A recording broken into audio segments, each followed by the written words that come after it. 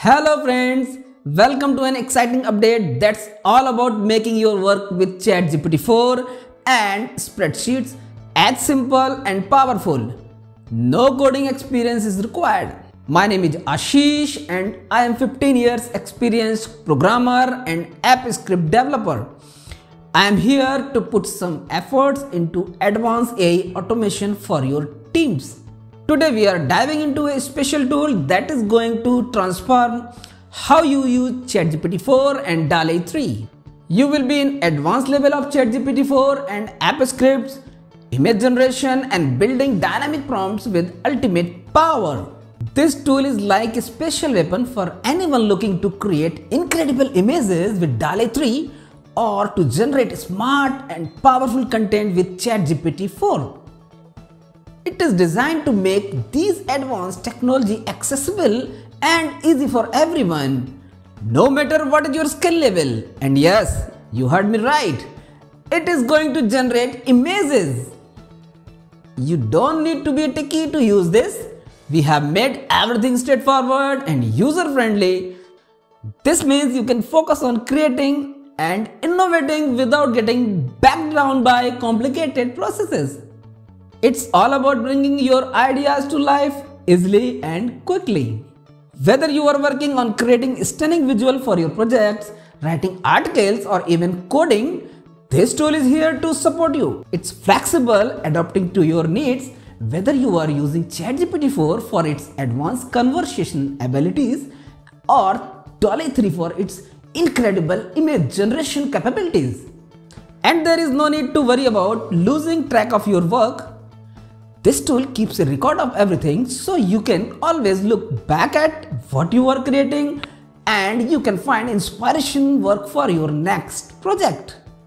Get ready to unlock the full potential of ChatGPT 4 and DALL-E 3 with this powerful and free app script. To initiate the operation, first, open up a Google spreadsheet and give it an appropriate name like we have given AI Spreadsheet Automation to our sheet. Then go to the extension option and click on the App Script button. Also, give it to the point name to this project and paste the whole script into the coding section of the App Script page. Next to this, you need to save the project by clicking on the Save Project button to execute further steps. Once it gets saved, now click on the Run button and authorize all permissions by clicking on the Review Permission button with the suitable email ID. As you can see here, the execution has been started and completed as well within the time of just a few seconds. Now, we will create the triggers so that we can simply get responses for whatever we will edit on the sheet. For this, go to the Trigger button showing on the side panel next to the clock icon and add the triggers. Once the trigger dashboard has been opened to you, now we will click on the Add Trigger button showing in the bottom right corner. Here, we will select the Add Edit option in the function Head in Deployment from Spreadsheet in the Event Source and on Edit in the Event Type, and we'll click on the Save button. Now, we'll go back again to the coding section and click again on the Run button. Plus, you will see the execution process will start over again and be completed in a few seconds. As you can see here, an automated Google Sheet has been generated with three more subsheets with the names PR1, PR2, and PR3 with the required details. Hence, you need to start the operation from the PR3 subsheet since the API integration process has been mentioned only in that section. To complete the integration process via API, you first need to have the API key. For this, you need to search platform.openai.com in a new tab and click on API Keys showing on the side panel next to the lock icon. From here, you need to go to plus create new secret key option and click on create secret key button by mentioning the sheet name there. As you will click on create secret key button, the API key will be generated. Hence, you need to copy the key by clicking on the copy option and then clicking on the done button. As you copy the key, the API key copied notification will display at the top of the screen. Next to this, go back to the sheet and paste the key in the C2 cell. You are allowed to use these models of the AI chatbot for different requirements. For example, as a free version, you can use GPT-3 or GPT-based to generate text-based content and DALL-E 2 models of ChatGPT to generate image-based content.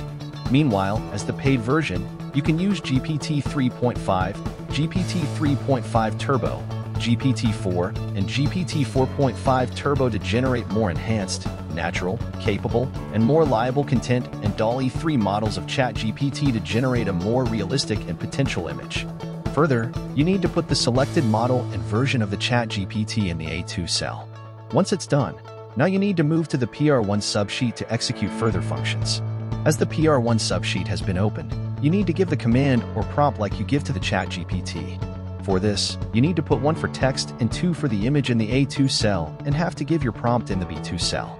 This is because the trigger we have created works only on edit mode that means you have to edit the B2 cell's content and have to click in any other cell to generate every new response.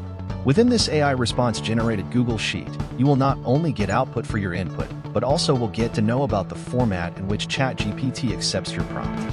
For example, here, we have put one in the A2 cell to get text-based content and have given prompts in the B2 cell. Now you will see that the actual prompt or format of your input that the ChatGPT will take will get updated in B3 cell, and the text-based generated response will be entered in the C3 cell along with its date and time in the A3 cell.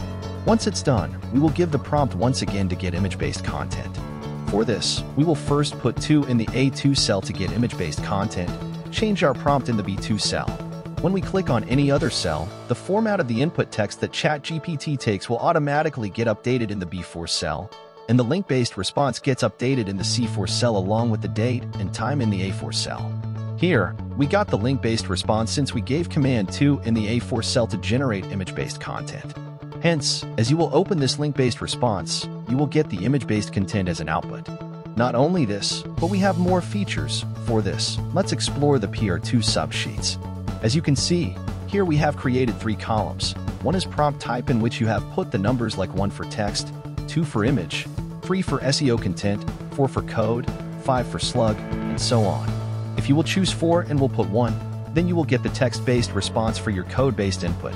While if you will choose 4 and will give prompt 2 then you will get the image-based response for your code-based input. From the second column, you will get to know what category of content that you are going to get from your spreadsheet-based ChatGPT such as Slug, Code, SEO content, PHP, Java, and more. In the third column, you can categorize the content, such as I want response only in code and instructions without any comments, long explanation, and more. You just need to put your required number in the C2 cell, such as 1 for text, 2 for image, and more. For example, we have given three numbers in the C2 cell and PR2 subsheets that denote SEO content. Next, we will go back again to the PR1 subsheets and we'll change our prompt in the B2 cell and we'll click in any other cell. As you can see here that the format of the content that ChatGPT will take gets updated in the B5 cell, the generated response in the C5 cell, and the date and time in the A5 cell. Here, you will find that the generated response is in link format. This is because you have given two commands in the A2 cell, which means the generated response is in image-based content. For more clarity, we will repeat this process, but this time, we will change the command in the A2 cell and will make it from 1 instead of 2.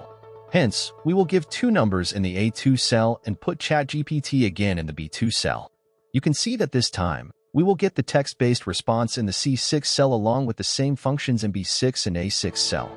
Now, we will go to the PR2 subsheets and we'll choose the what category of content we are going to take for showing in next response, such as slug, PHP, SEO-based, code, etc., and we'll come back to the PR1 subsheet. As we have chosen four numbers to get code-based content, hence we will give a prompt in the B2 cell as two numbers in code Java. You will see that the generated output has been updated in the C7 cell in the response column, along with the other updated functions in the B7 cell and A7 cell. Next to this, we will replace the prompt again, SEO-friendly slug for social media with promotion with 3 to 4 lines messages and 5 hashtags and last, in the B2 cell to generate SEO-based content and click on any other cell. You can see the result that the automated AI-generated response has been updated in the C8 cell together with other updated content in B8 and A8 cells. You're also allowed to change the sequence of the content category like if you want to get the image on 2, PHP on 6, SEO content on 1, and more than you can also do. For example, we have mentioned six images in the PR2 subsheet and we'll take it for our next response generation.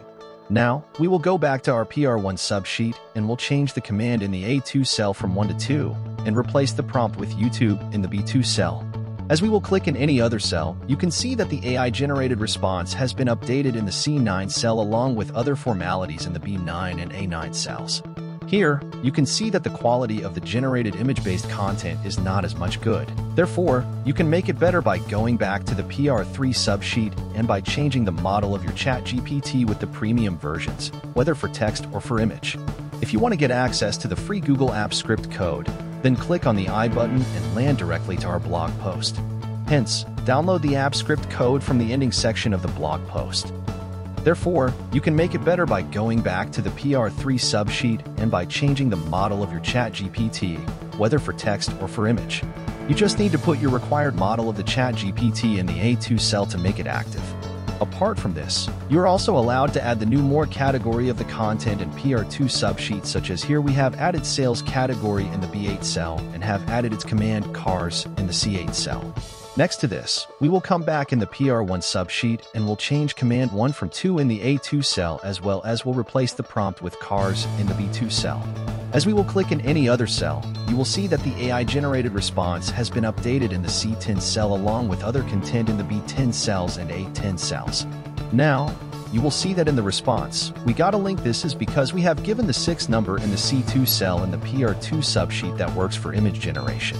Hence, for this, we will put 8 numbers in the C2 cell of the PR2 subsheet that denotes the sales category in the C8 cell of the same subsheet.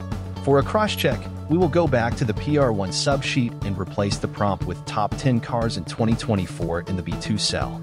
As you will click in any other cell, the automated responses will get updated in the C11 cell. Thanks for watching. Please like, share, and subscribe.